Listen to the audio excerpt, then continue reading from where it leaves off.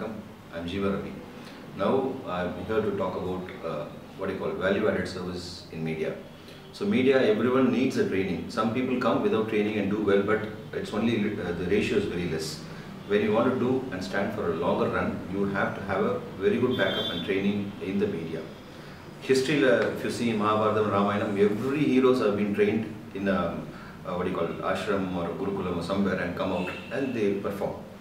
Here, I want to tell you that any upcoming uh, freshers, uh, new artists have to go and have a, a good, good training in acting or editing and what, whatever platforms are there in media.